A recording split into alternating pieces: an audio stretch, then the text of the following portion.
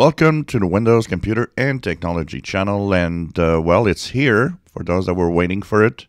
If you're on Windows 10, there is, for Seekers, the famous Seekers, Windows 10 22H2 started rolling out yesterday, um, late in the day, yesterday, October 18th. And, of course, now available. So, what's a Seeker?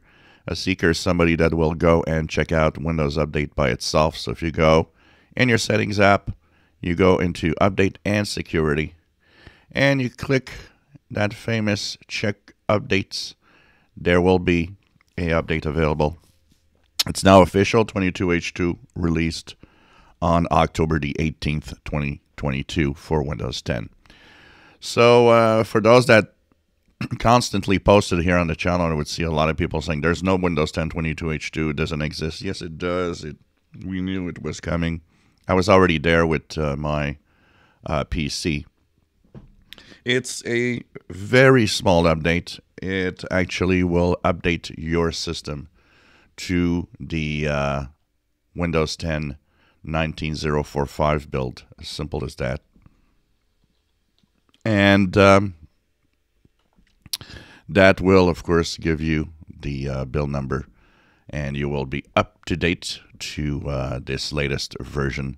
So if you update and you get to um, the uh, version 22H2 should be on 19045.2130 or something like that on your operating system. Now, what's new in here? Really nothing front facing.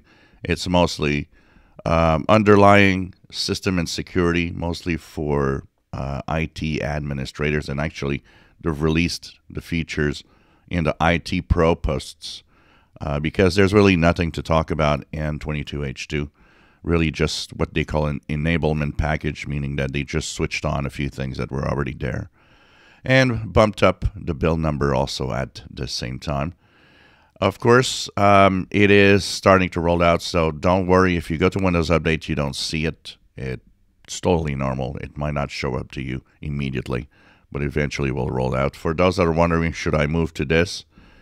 It's such a small package that uh, you probably should move to 22H2. It really doesn't do much. Uh, and like I said, this is going to give you the uh, 18 months now from here. So if you update now, you will have updates until uh, end of support of this version, which will be mid 2024. So uh, that tells you just uh, update now, and you'll get your you're you're going to get updates until the uh, mid 2024, around May or May or June of 2024. It's going to get us closer and closer to the end of support, which is of course end of the year, uh, October of 2025. So gives you a you know a long time before you have to update. And anyways, the next update for Windows 10 is only a year from now uh, which will be 23H2 and probably be the same small package.